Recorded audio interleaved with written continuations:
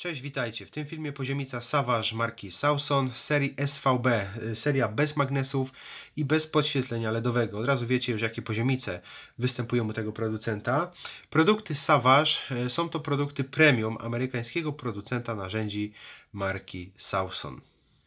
Dobra, informacje podstawowe. Przede wszystkim mamy dwie libele do pomiarów pionu, jedna libela do pomiarów poziomu. Libele są akrylowe, wielopierścieniowe, czyli można na szybko ustawiać skosy. Yy, Przydatne to jest na przykład przy wyznaczaniu spadków na wylewkach, rurach, rynnach itd. Rama poziomicy jest o 80% mocniejsza i oprócz tego, że jest wykonana z bardzo konkretnego profila aluminiowego, jak widać przepięknie anodowanego, ma dodatkowo wzmocnienia w narożnikach i te wzmocnienia w żadnym stopniu nie są naruszone podczas frezowania otworów i myślę, że to jest klucz do wytrzymałości tej y, poziomicy.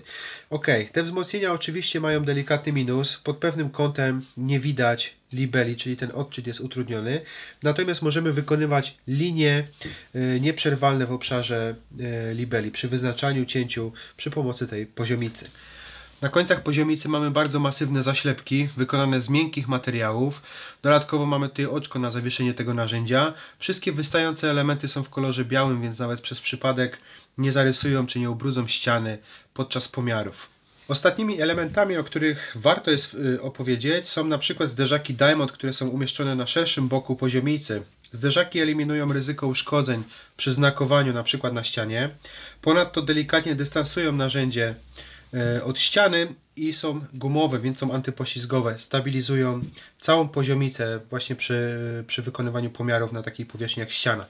Dodatkowo mamy tutaj dwa uchwyty, bardzo masywne, pogumowane, które pozwalają pewnie trzymać narzędzie, ale oczywiście narzędzie jest wykonane z takiego profila, który pozwala dość pewnie je y, złapać czy trzymać w każdym dowolnym miejscu.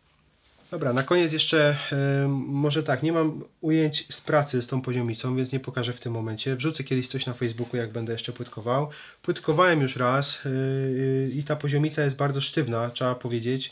Ona po prostu przy dociskaniu płaszczyzny płytek nie poddaje się, nie wygina się środkiem, nawet przy dociskaniu jedną ręką. To jest bardzo fajne, uważam.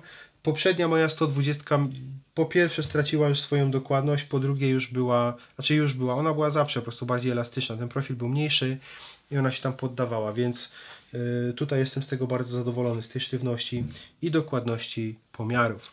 Dobra, w tym filmie byłoby na tyle. Jak macie pytania jakieś, komentujcie śmiało pod filmem. Zapraszam Was do pozostałych moich filmów i jak zwykle życzę Wam miłej pracy. Trzymajcie się, hej.